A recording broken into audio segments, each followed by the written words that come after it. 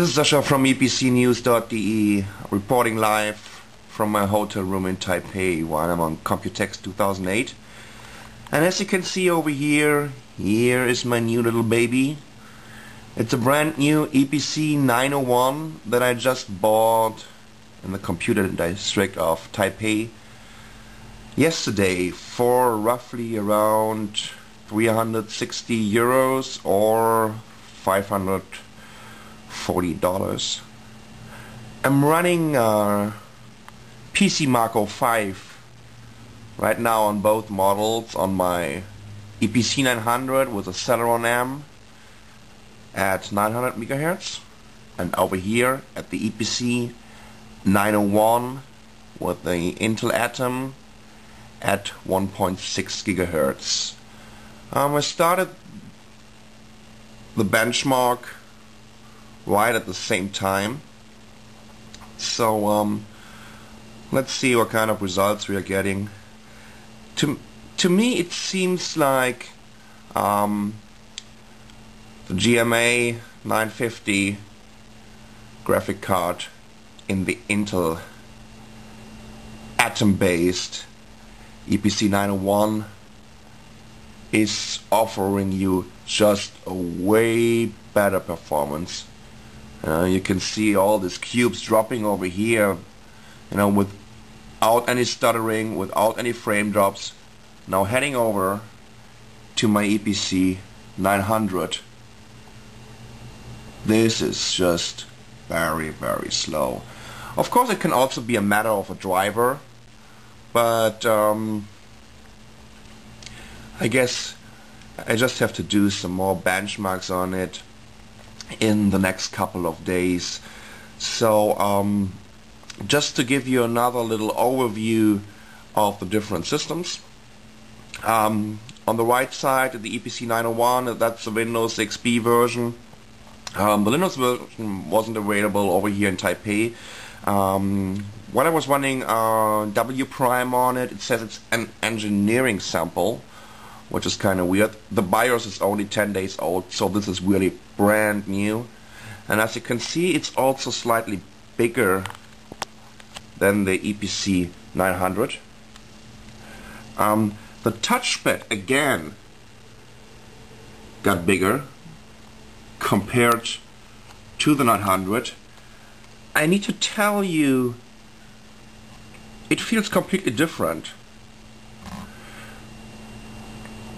Now it's um, it's a little bit rough on the surface. And uh, it definitely supports now the multi-touch um, the multi-touch drivers or the multi-touch capability way better in all the things that we've been expecting from the Eee PC 900 uh, in terms of uh, multi-touch are now working on the Eee PC 901 so what you can also see over here there on the top of the keyboard we have some four new little buttons. With the first one on the left I can switch off the screen. And with the second one I can change the resolution immediately of course, um, that caused my my benchmark to crash. Um, but you know, let's get, let let let's abort it and uh, let's get on with a little hands-on here. And the third button is doing a one-click overclocking or underclocking so right now you can put it in power saving mode and uh, I'm gonna show you. Then it's immediately underclocking the CPU it's, it can underclock the CPU um, by 50% the Eee PC 901 is also using this power saving mode immediately when you are running it on the battery That means then the Intel Atom is um, clocked at 800 megahertz. But you can also overclock it to uh, 1.8 gigahertz when you are connected uh, with your power cord over here. So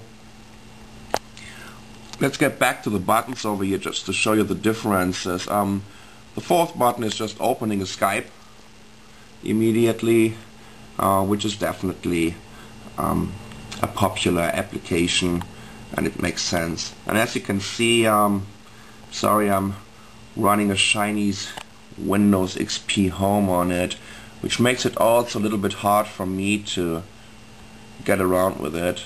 I'm not definitely not familiar with Chinese at all. Um, yeah, what else do we have? Keyboard is pretty much the same. Uh, we had the same issue with the space key and with the alt key. Um, from for me, it looks a little bit cheap when I'm pushing a key, let's say like the R or the F key, especially in this area. Pretty much the whole keyboard is moving up and down.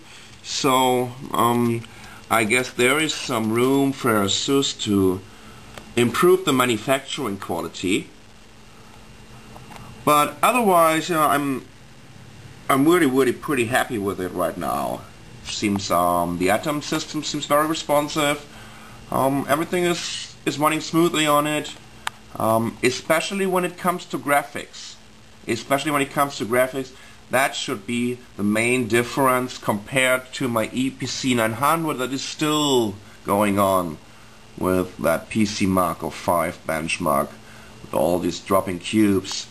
And what I also like about it, you see it, it has a slightly different design, it has some kind of metal application all around. Well, as I said, the touchpad is bigger. Right now we have really two single mouse buttons over here while on the Eee PC 900 we just have one mouse button and it, it feels way better definitely so um, of course I still have to run couple of tests on it and uh, especially in terms of battery life because the Eee PC 901 over here is coming with a 6600 milliampere battery while my 900 was delivered with a 5800 milliampere battery. So it's a 6 cell battery.